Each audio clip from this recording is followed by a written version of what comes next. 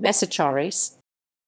Mesochares is a genus of moths belonging to the family Tortricidae. Species: Mesocharis centrifuga Dyakonov, 1981